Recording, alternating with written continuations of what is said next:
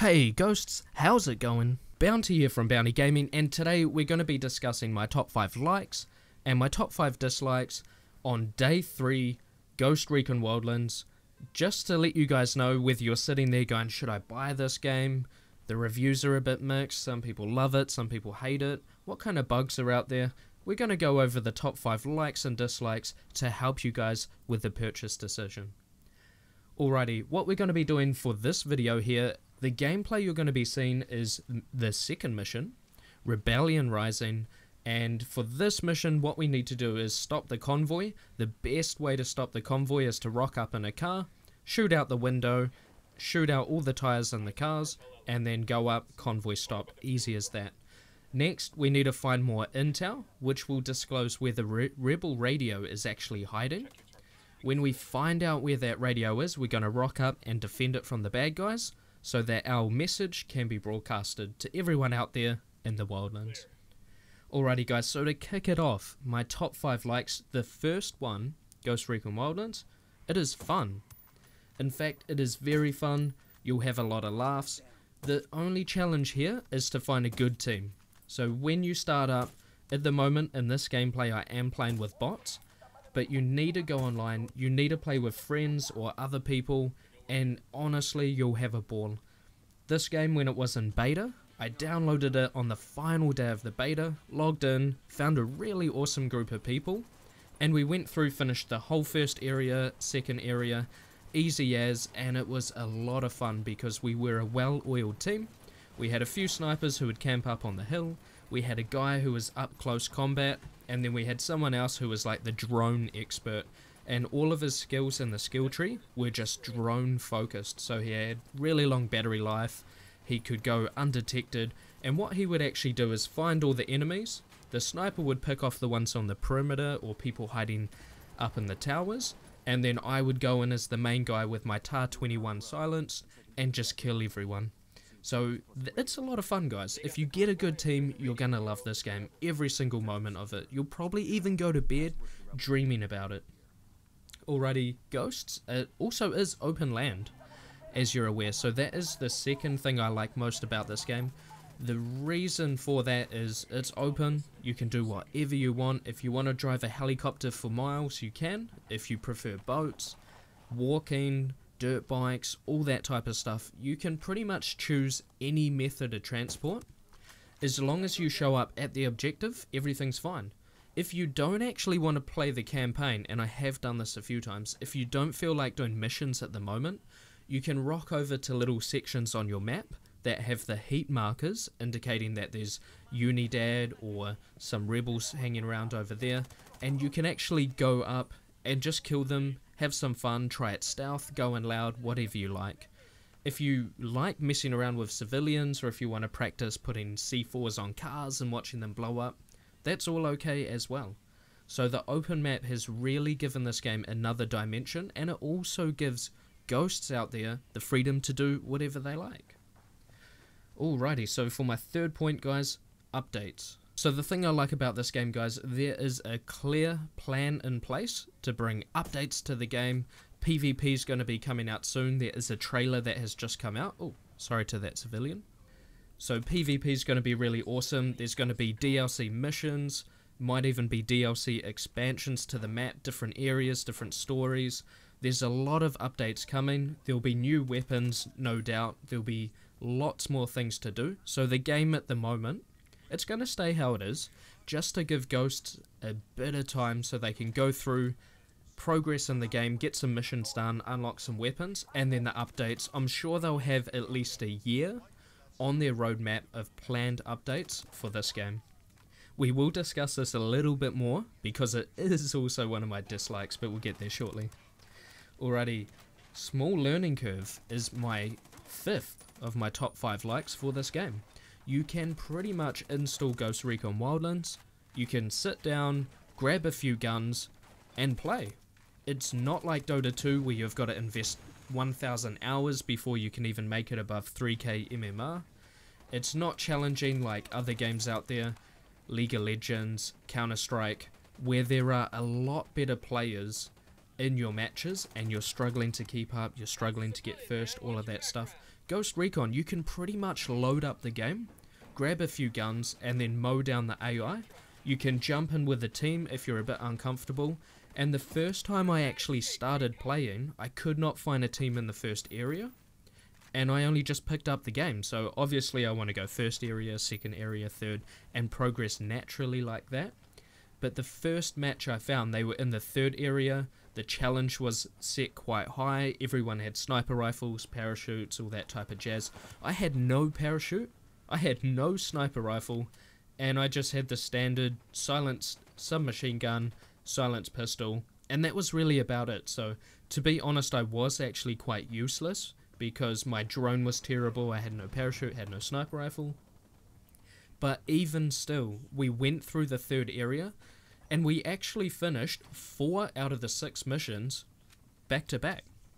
The fifth one did give us a bit of bit of a challenge purely because it was myself, I was the anchor of the team, but that's not to say that they carried me through the missions that we did complete. I could actually hold down certain areas on my own. If they were on the cliff sniping, I could run in and happily take out a few people. So the actual challenge, the learning curve is quite small.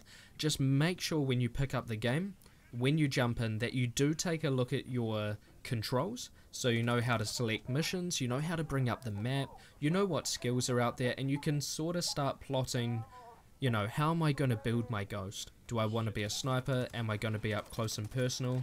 Check out the attachments for your weapons. That is often a place that is underlooked because people don't realize it's there. You can actually customize your weapons. Alrighty guys, away from the positive things, we are going to hit the negatives and we are going to hit them right now. So the first thing when I was going through the menus in Ghost Recon Wildlands, I loaded it up and there was a store. So I thought, okay, let's take a look. Let's see what currency is around.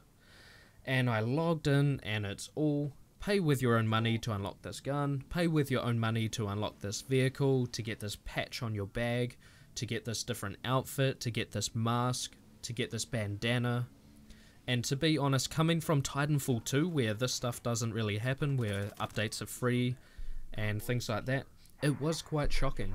And not only were they in the store, they were very highly priced. So you weren't going around looking for like a $1.99 bandana or a, a dollar or 99 cents for a t-shirt. You're talking serious money. And so that's definitely an area in the game that I'm purely going to keep away from. But it's also a shame because I know that's the area that Ubisoft are going to update the most. That's where the new weapons are going to go. That's where the new outfits are going to go. The further character customization. I have a funny feeling it's all going to go in there. And you'll be swiping your card over and over. For the second thing that we don't like about Ghost Recon Wildlands, is the insane loading times if you don't have a solid state drive. So for this game, if you have it on a mechanical hard drive, it took me 8 minutes to get into a co-op match. 8 minutes. That is ridiculous, that is unheard of. The loading just to launch the game was insane. Then we launched the game, we got into the menu, then we found a co-op match, it loaded about two or three times. Then when I joined the match, I was on the other side of the map, and everyone else was having fun doing the mission, so I thought, okay, I need a fast travel, I need to land on where these guys are and join in, because, you know, that's what you do when you play co-op, you want to help your team. And just that fast travel alone took a minute and a half, and it was it was crazy. It was crazy. I was ready to just go, okay, I'm done, uninstall this, snap the keyboard in half, throw the monitor out the window. It's just ridiculous. But to get around this, guys, if you do have a solid state drive, place it on there straight away. I know the game is 40 gig. I know the update today was another 4 gig, so you might be a bit tight for space, but I would not play it without it. I noticed it even solved a lot of my rendering issues, and then I thought, ah, Maybe my hard drive is actually faulty or under load or something like that, but it's 100% fine. I did a full surface scan, checked the smart, 100% fine. So I think the game just struggles at times with the slow read times from the hard drive. I do highly recommend solid state drive. Alrighty, so the next one guys, You've probably all been waiting for this. It's the bugs from the beta. A lot of bugs were identified. There's rendering issues. There'll be places where your game just quite simply won't work. You will be frozen. You'll be sitting there going, okay, I'm frozen. And then two minutes later, it goes again. And then it freezes. And then it renders. Then it goes again. And before you say, hey, it's probably your computer, it could be your processor, we are running pretty high up things, high up specs. So there has been an update that actually came out today, which is supposed to address most of those issues, but we won't know until we jump in and try it out whether they've actually been resolved. They may or may not have been resolved. There are other bugs out there that were clearly highlighted. They made a beta. We had tons and tons of ghosts jump in. They tried out the game and there was a very clear list of going, okay, these are all the issues. Driving is bad, things don't render, we get a lot of crazy stutter. You know, there's just general problems in the game.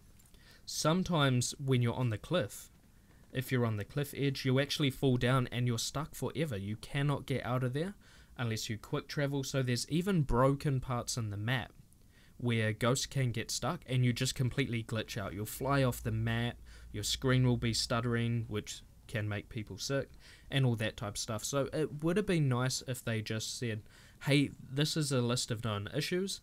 We're going to go through, we're going to fix these up as best as we can. The ones that we cannot fix up, we're going to show you guys what it might look like. We're going to let everyone know, hey, we have been told there are three, you know, three issues here. We've only fixed two. This one is still outstanding. So when people purchase the game, they're aware, oh hey, all of these are fixed, this issue's outstanding, should I still buy it? Okay, I'll buy it, okay, I won't buy it, I'll wait till they fix it, all that type of stuff. There needs to be a bit more communication from Ubisoft and letting people know before they drop $70 on the standard version, $100 on the normal version, or a hundred, uh, not normal version, deluxe, or a hundred and fifty on the gold edition. I mean, this is an expensive game. Titanfall 2, Battlefield 1, they sent me back $60. This game, over half. Uh, sorry, over double. over double. So it's just a shame that they didn't put a bit more extra care into their communication so people purchasing it were knowing what they're going to get into. For myself personally, guys, I was going to purchase it anyway, so this is not a after purchase getting salty type argument. Alrighty, so for the last one, guys, the last thing that I don't like about Ghost Recon Wildlands is the variety of missions, and also what you can see here, tag in supplies. So we're gonna go, we're gonna do this as a little double. So tag in supplies, everyone has to do it. It is honestly like a bus stop at peak time. Everyone's in a queue. You can only get one person through the door, one person paying at any one time and this is just causing sort of frustrations, I would say. It's not really an issue, it's not really broken, but it is causing frustrations. So hopefully they can have an area of effect where people within 100 meters can automatically gather the supplies if someone else from their squad goes up and collects them. That's just a little thing that I thought, hey, this is frustrating. Hopefully it's going to get fixed soon. Also guys, for the variety of missions, you will notice when playing this game that things, they do change, but not really. So there'll be a lot of stop the convoy, gather more intel, gather more information, interrogate someone, kill someone, or extract someone. So you're either going to be killing a leader, interrogating a leader, or extracting someone who they've held hostage. And 9 times out of 10 you're going to be going in, killing everyone, and then the mission's pretty much over. So you'll head up to a headquarters, maybe a Unidad headquarters, kill all the bad guys, you'll run in, steal a truck, run in, kill their guard, run in, capture the hostage. It's pretty much a rinse and repeat for that. So it would be really exciting to see additional missions or differences in the missions where maybe you go around to towns, you recruit a few people, they come with you, you will jump in helis, you do like a massive attack, drop some bombs down, something a bit a bit different, you know, a bit more variety. Anyway, ghosts, I hope you guys are enjoying the game if you have the game, and if you don't, stick around because we're going to be covering all of the missions here on the Bounty Gaming channel. We're just going to be finishing up this one at the moment, defending the radio for a couple more seconds, And we're going to be covering all of the missions, tips and tricks, loadouts, guns, unlocks, DLC, all of that good stuff. So hopefully I'll see you guys around sometime soon. Enjoy the rest of your day, and I'll catch you ghosts later out in the wildlands.